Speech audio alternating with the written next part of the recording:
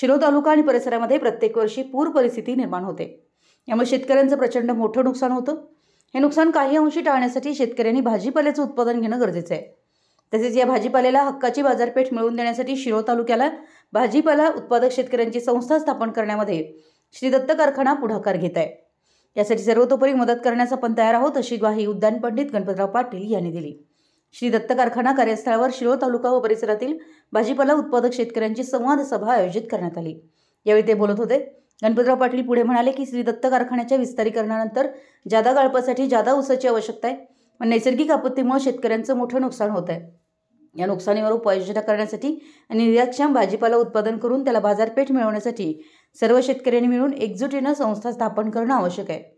या संस्थेच्या माध्यमातून शेती तज्ज्ञांशी चर्चा करून आपल्या समोरील अडचणी सोडवून उत्पादन वाढीबरोबरच विक्री व्यवस्थाही निर्माण करण्याला प्राधान्य देण्यात येणार आहे.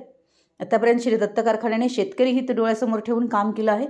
आगामी काळात ऊस उत्पादक शेतकऱ्यांबरोबरच भाजीपाला उत्पादक शेतकऱ्यांचीही आर्थिक परिस्थिती सुधारावी यासाठी सामूहिकरित्या प्रयत्न करण्यामध्ये आम्ही पुढाकार घेत आहोत. याला सर्व शेतकऱ्यांनी सहकार्य करावं असं आवाहनही त्यांनी केलं. प्रारंभी मुख्य शेती अधिकारी श्री शैल हेगांना यांनी सर्व उपस्थित शेतकऱ्यांचं स्वागत करून प्रास्ताविकामध्ये मार्केटिंग आणि निर्यात करण्यासंबंधी शेतकऱ्यांना येणाऱ्या अडचणी आणि त्यावरील पर्याय याचा आढावा घेतला. यावेळी अनेक शेतकऱ्यांनी आपलं मनोगत व्यक्त करून बाजारपेठ निर्माण करण्याबरोबरच आपल्यासमोर येणाऱ्या अनेक अडचणींचा उहापोह केला. तसेच वर्षभरामध्ये योग्य नियोजन करून भाजीपाला घेतल्यास सर्व भाजीपाला उत्पादन शेतकऱ्यांना मोठा फायदा होऊ शकतो. यासाठी गणपतराव पाटील यांनी पुढाकार घ्यावा असं आवाहन केलं.